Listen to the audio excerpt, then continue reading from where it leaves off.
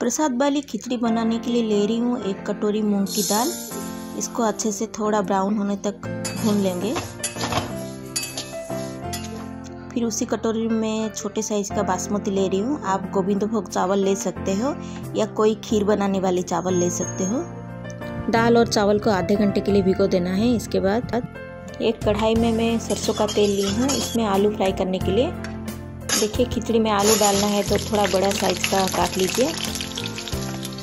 Golden brown हो चुका है, इसको निकाल लेते हैं। अभी फूल गोभी को बड़े साइज़ में काटी हूँ, इसको भी फ्राई कर लेते हैं। देखिए, हो चुका है, इतना ही करना है। इसको भी निकाल लेते हैं। और बाकी मैं मटर, गाजर बीन्स कद्दू ली हूँ। इसको फ्राई करने की ज़रूरत नहीं है। कढ़ाई में फिर से सरसों तेल लिए। इसमें दो सूखी मिर्च तोड़ के ली हूँ और इसमें कुछ गरम मसाला डाल रही हूँ। थोड़ा सा भून जाए, उसके बाद एक चम्मच जीरा डाल रही हूँ। अभी मसाला बनाने के लिए एक स्पून पूरा भर के ली हूँ अदरक पेस्ट और हाफ़ स्पून धनिया पाउडर, हाफ़ स्पून हल्दी, हाफ़ स्पून कश्मीरी मिर्च ली हूँ। और तीखा खाना है तो थोड़ा सा लाल मिर्च डाल सकते हो आप। सूखी मसाले को पानी डाल के एक पेस्ट बना लेंगे। अभी मसाला वाला पेस्ट को तेल में डाल देते हैं।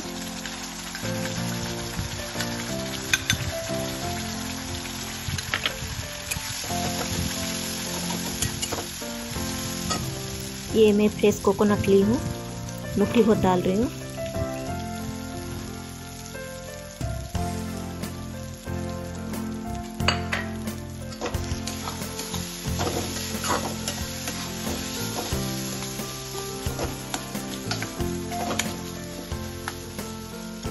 इसमें थोड़ा सा पानी डाल के मैं भून लेती हूँ।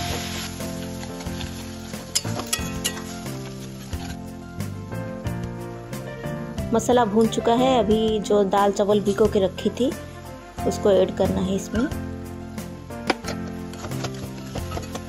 मसाले के साथ अच्छे से मिला के थोड़ा टाइम भून लेना है। और देखिए, मैं हाफ़ स्पून गरम मसाला पाउडर ऐड कर रही हूँ। देखिए, दाल चावल भून चुका है। अभी एक बड़े से बर्तन में इसको शिफ्ट कर लेंगे। खिचड़ी बनाएँगे तो क्वांटिटी बढ़ जाएगा। एक बड़ा सा कढ़ाई ली हूँ, इसमें डाली हूँ। और अभी इसमें पानी डालेंगे। एक बार में सब पानी नहीं डालेंगे। इसको बारी बारी करके डालना है। देखिए, मैं गर्म पानी ऐड कर रही हूँ। दाल चावल अभी बॉईल के लिए छोड़ देती हूँ। अभी इसमें तेज़ पत्ता ऐड कर रही हूँ। और स्वाद अनुसार नमक डाल रही हूँ। अभी इसको ढक के पका लेंगे।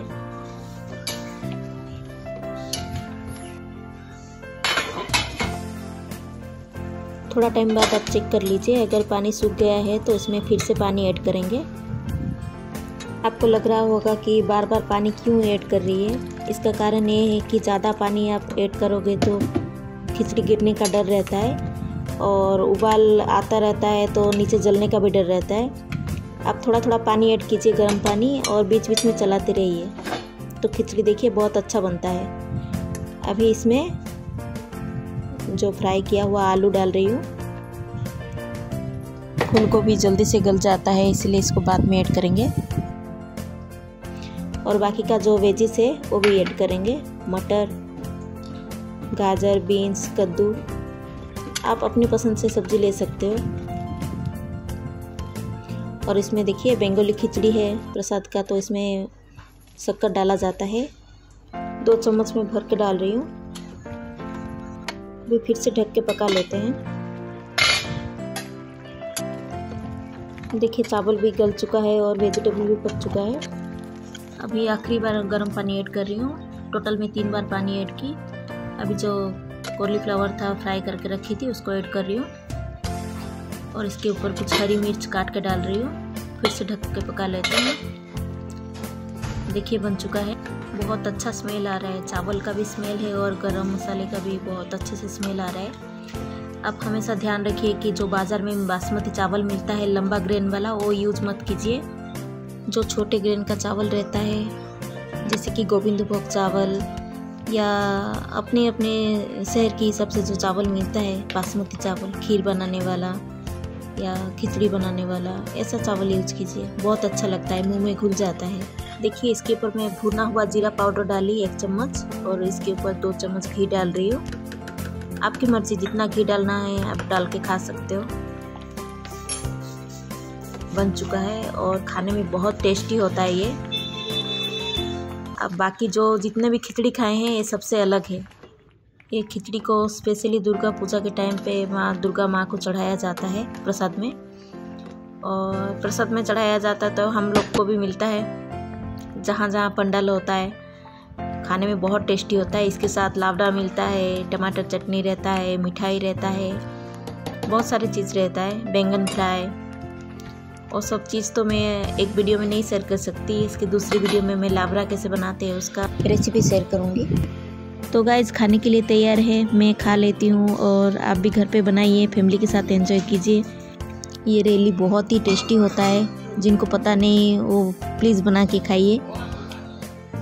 और अच्छा लगा हो तो लाइक कीजिए, जो नए हैं प्लीज़ सब्सक्राइब भी कीजिए। देखने के लिए थैंक यू